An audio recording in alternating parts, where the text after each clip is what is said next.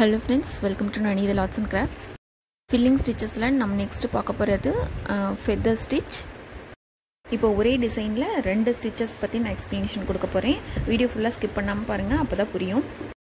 இது ஒர்க் பண்ணுறதுக்கு முன்னாடி நம்ம ஃபஸ்ட்டு திலகம் ஷேப்பில் இருக்கிற ஒரு ஸ்டோன் இது வந்து உங்களுக்கு என்ன சைஸில் கிடச்சோன்னாலும் அந்த சைஸ் நீங்கள் எடுத்துக்கோங்க. அதோட அவுட்லைன் வந்து ட்ரா பண்ணிக்கலாம். கொஞ்சம் எக்ஸ்ட்ரா விட்டு ட்ரா பண்ணிக்கலாம். ஏன்னா இந்த ஸ்டோன் சுற்றி கொஞ்சம் கேப் இருக்கும்ல அந்த கேப்பில் வந்துட்டு நம்ம ஏதாவது பீட் ஒர்க் இல்லை ஜர்தோசி ஒர்க் ஏதாவது பண்ணுறேன்னா பண்ணலாம். அதுக்காக அந்த கொஞ்சம் கேப் விட்டு அதை நம்ம ட்ரா பண்ணிக்கலாம். இப்போ அந்த திலகம் ஷேப்பு ட்ரா பண்ணோம் இல்லையா? அதை சுற்றி இப்போ ஒரு ரெண்டு லேயர் வந்துட்டு நம்ம ட்ரா பண்ணிக்கிறோம். மறுபடியும் எக்ஸ்ட்ரா கொஞ்சம் கேப் விட்டு விட்டு. இந்த ரெண்டு லேயர்ஸில் தான் நம்ம வந்து ஸ்டிச்சஸ் போட போகிறோம் நம்ம இந்த ஸ்டிச்சை வந்து ஒரு பீகாக் ஃபெதர் மாதிரி அப்ளை பண்ணி பார்க்கலாம். அதுக்கு நான் ரெண்டு கலர்ஸ் எடுத்துக்கிறேன் green and blue first blue colour வச்சு நம்ம ஒர்க் பண்ணலாம். இப்போ அவுட்டர் லேயர் ஒர்க் பண்ண போகிறோம் இப்போது இதோட சென்டர்லேருந்து நான் ஒரு லைன் ட்ரா பண்ணிக்கிறேன். இப்போ இது ரெண்டு பார்ட்டாக பிரிச்சுக்கலாம். லெஃப்ட் ஒரு சைடு ரைட் ஒரு சைடு அப்படின்னு சொல்லிட்டு நம்ம ஸ்ப்ளிட் பண்ணிக்கலாம். இந்த டிசைன் ஒர்க் பண்ணும்போது ஸ்டிச்சஸ் வந்து மேலேருந்து கீழே தான் போட்டுட்டு வரணும். லெஃப்ட் ஒர்க் பண்ணாலும் சரி ரைட் ஒர்க் பண்ணாலும் சரி. மேலேருந்து கீழே தான் நம்ம வந்துட்டு ஸ்டிச்சஸ் போட்டு ஃபில்லிங்ஸ் போட்டுட்டு வரணும். கீழேருந்து மேலே வரக்கூடாது தப்பு. மேலிருந்து கீழே வந்ததுக்கப்புறம் அங்கே ஃபினிஷ் பண்ணிட்டு அதுக்கப்புறமா தான் மறுபடியும் அடுத்த சைடை வந்து மறுபடியும் மேலேருந்து கீழே கொண்டுட்டு வரணும். அப்படியே கண்டினியூ பண்ணக்கூடாது. நான் சென்டரில் அந்த நம்ம ஃபஸ்ட்டு திலகம் ஷேப் ட்ரா பண்ணோம் இல்லையா? அதுலேருந்து ஸ்டார்ட் பண்ணி செகண்ட் லேயர் கொண்டு வந்து அதுக்கப்புறமா தேர்ட் லேயர் வழியாக பட்டன் ஹோல் ஸ்டிச் போட்டோம் இல்லையா? அப்படியே எடுத்து திரும்ப சென்டரில் ஸ்டிச் போடாமல் அப்படியே ரிவர்ஸ் கொண்டுட்டு போய் ஸ்டார்ட் பண்ண பிளேஸ்லேயே ஒரு ஸ்டிச் போட்டு அங்கே ஒரு குட்டி லாக் போட்டுறணும். ஹோல் ஸ்டிச் ப்ராக்டிஸ் பண்ணியிருந்தால் இது ரொம்ப ஈஸியாக வரும். அங்கே ஒரு ஸ்டார்ட் பண்ண பாயிண்டில் குட்டி லாக் போட்டுட்டு அதுக்கப்புறம் அதை அப்படியே மேலே கொண்டு வந்து செகண்ட் ஸ்டிச் போடணும். செகண்ட் லேயரில் வந்துட்டு ஒரு ஸ்டிச் போட்டு அதுக்கப்புறம் அதை அப்படியே தேர்ட் லேயர் கொண்டு வரணும். அதாவது மேலே கொண்டு வரும்போது நம்ம ரெண்டு இடத்துலையுமே ஸ்டிச் போடுறோம். திரும்ப போகும்போது அதாவது ரிவர்ஸ் எடுக்கும்போது வந்துட்டு நம்ம ஸ்ட்ரெயிட்டாக ஸ்டார்ட் பண்ண பாயிண்டில் மட்டுமே ஸ்டிச் போட்டு இதை ஃபினிஷ் பண்ணுறோம் சென்டரில் வந்துட்டு நம்ம ஸ்டிச் போடக்கூடாது. இவ்வளோ தான் இந்த ஸ்டிச்சோட டிஃப்ரென்ஸ் இந்த ஸ்டிச்சில் ஃபஸ்ட்டு போடுற ஸ்டிச் மட்டும் சென்டர் பாட்டில் ஸ்ட்ரெயிட்டாக வருது இல்லையா? அதுக்கப்புறம் நம்ம சைட்லேருந்து எடுக்கிற ஒவ்வொரு ஸ்டிச்சுமே வந்து மேலே அந்த செகண்ட் லேயருக்கு மேலே கொண்டு வந்து தேர்ட் லேயரில் ஃபினிஷ் பண்ணுறோம் இல்லையா? அந்த இடத்துல வரும்போது கொஞ்சம் கொஞ்சம் கேப் விட்டு நம்ம அதை வந்துட்டு ஃபினிஷ் பண்ணுற மாதிரி இருக்கணும். லைட்டாக அந்த ஃபெதர்ஸ் வந்து ஸ்ப்ளிட்டாக இருக்கிற மாதிரி நமக்கு தெரியணும்.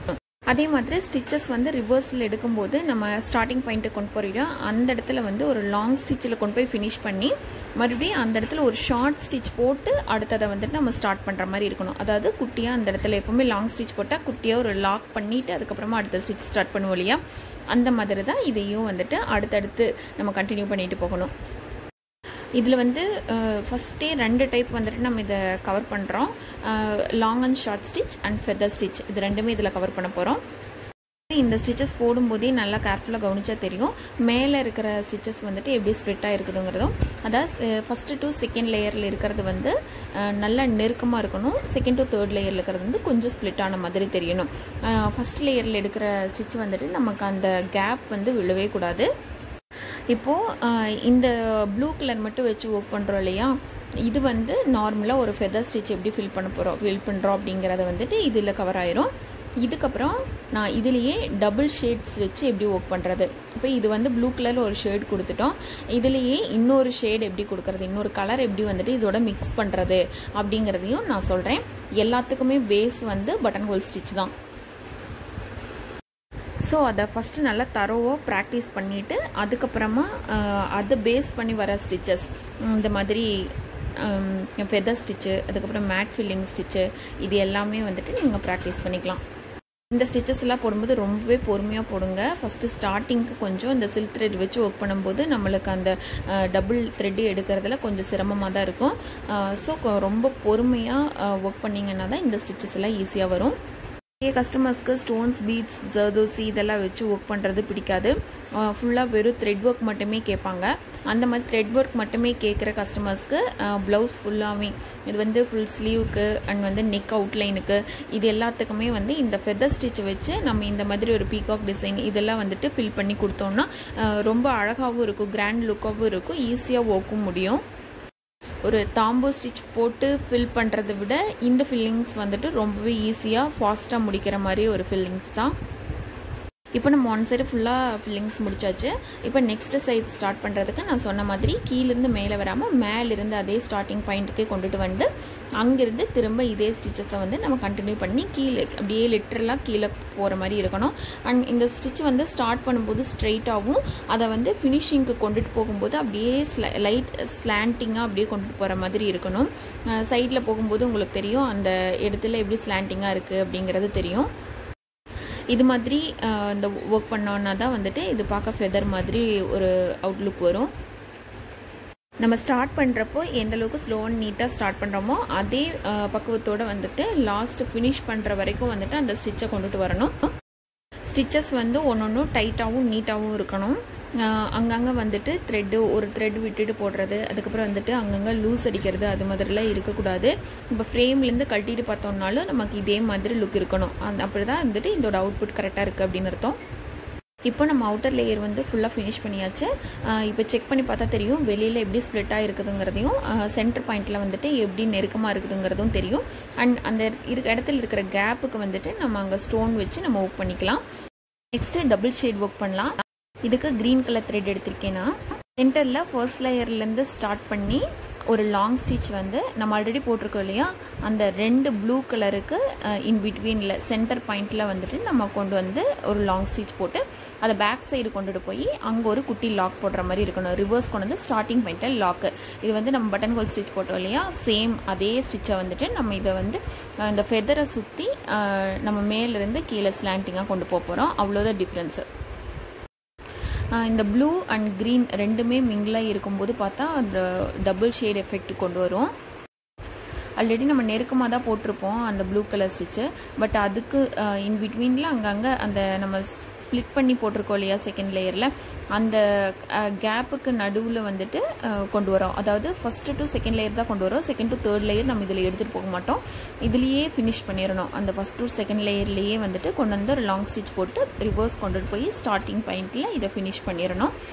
குட்டி குட்டியாக லாக் போட்டு நம்ம அந்த நார்மல் பட்டன் ஹோல் ஸ்டிச் மாதிரி இதை ஃபுல்லாக கண்டினியூ பண்ணுறோம் அதே மாதிரி ஸ்டார்டிங் பாயிண்ட்டை கொண்டு கொண்டு வரும்போது நம்ம அந்த லாங் ஸ்டிச் போடுறதுக்கு முன்னாடி இருந்து ஒரு த்ரெட் எடுக்கிறோம் இல்லையா? அதிலிருந்து இழுத்து அதே ஸ்டார்டிங் பாயிண்ட் கொண்டு போனும்போது அது வந்து ஒரு குட்டி லாக் விழுகும். அந்த லாக் மட்டும்தான் விழுணும்.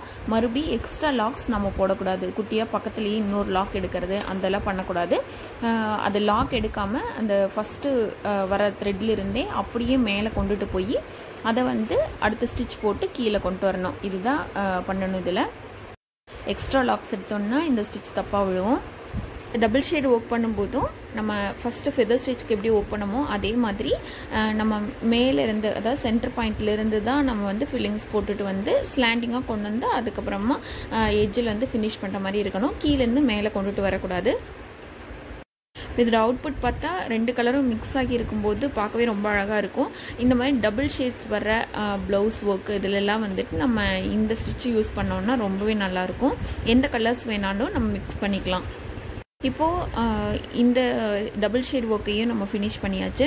இப்போ சென்ட்ரல் இருக்கு இல்லையா? இந்த இடத்துக்கு வந்து நம்ம ஸ்டோன் வச்சு ஃபில் பண்ணுறேன்னா பண்ணலாம். இல்லைன்னா வந்து நம்ம கோல்டன் ஜரியிலேயே வந்து செயின் ஸ்டிச்சை தான் தாம்பூ ஸ்டிச் போட்டு ஃபில் பண்ணுறனாலும் பண்ணலாம். நான் சென்டரில் கொஞ்சமாக க்ளூ அப்ளை பண்ணிவிட்டு ஃபஸ்ட்டு பால் செயின் வச்சு ஒரு லேயர் கொடுத்துக்கிறேன். எந்த அளவுக்கு வேணுமோ அந்த அளவுக்கு ஸ்டிக் பண்ணிவிட்டு ரிமைனிங் வந்து கட் பண்ணி எடுத்துடலாம்.